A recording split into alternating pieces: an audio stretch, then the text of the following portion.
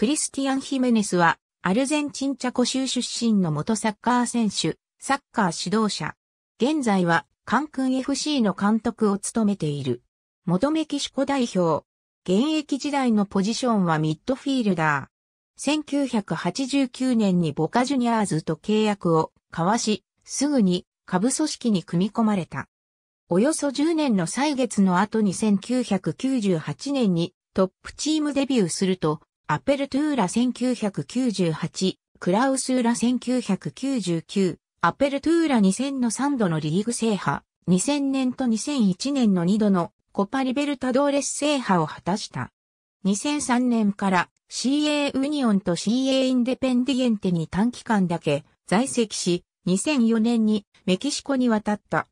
ティブロネスロホスでベラクルスには同郷のワルテル・ヒメネス、メキシコ代表のクアウテモク・ブランコやブラウリオ・ルーナなど粒揃いのメンバーがいた。2010年にクルスアースルへ移籍した。2017年12月、古巣の CF パチューカへ移籍し、1シーズンプレーして現役を引退した。